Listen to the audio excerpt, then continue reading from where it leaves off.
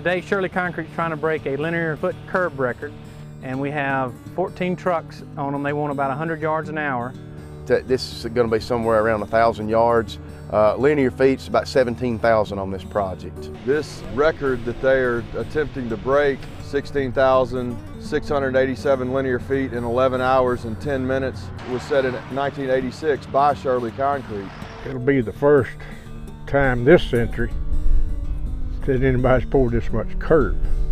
Unless somebody poured yesterday and I don't know about it.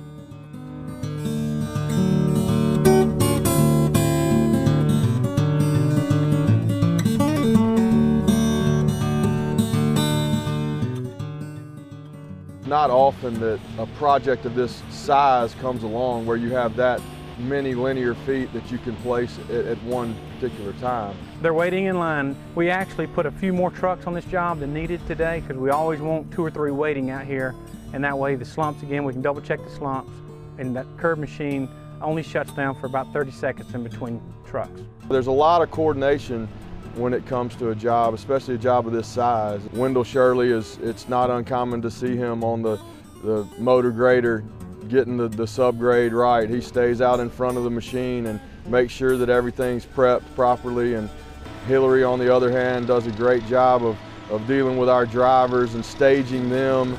And, and they've grown the company. And, and Steven's out here today. Steven's Hillary's son, who's a sophomore at the University of Alabama right now. Right, it takes a lot of men. It takes five or six, five out front or six setting line and grading and two on the machine. And, and you got to have a great crew and then you got to have a good ready mix man like USA here. They do super. We, we use them every day up here in Shelby County. I've known Bill Roy and Mark for 30 years and uh, very comfortable with them. That's kind of like my machine around there. I don't worry about it. It's going to do its job and I don't worry about them.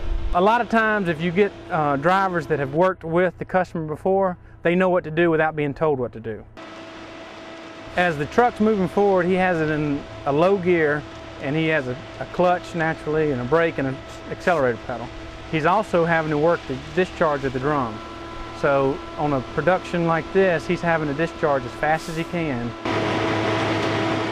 The curb machine is extruding the, the concrete out into the shape it needs to be.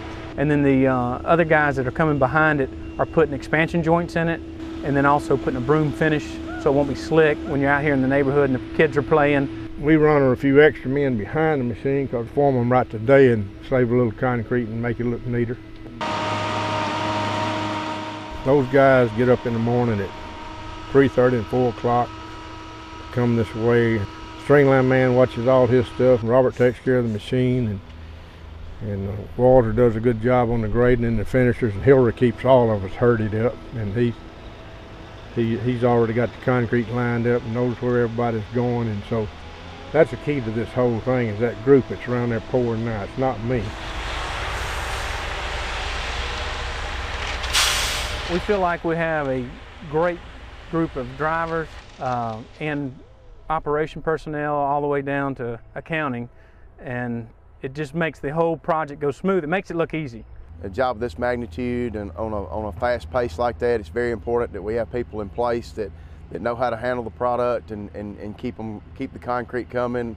We have the ability to do a job like this because we do run about 100 to 110 trucks in Birmingham and uh, we have we're probably more capable than anybody else handling a job like this. We're fortunate to, to have a, a large enough fleet to service this type of, of job. We've gotten large enough over the years to, to be able to service, you know, several commercial jobs at the same time. It's an honor for us to be part of this with Shirley Concrete and uh, we have a good partnership with them and it is good to work with good people. But y'all have done a super job for me and we appreciate it and appreciate those men around there. I'm just lucky to have them. Yeah. They've been here long, and I think I'm going to keep them. Yeah, they've been around a little while. Well, I, you know, can't get rid of them so I'm just going to keep them.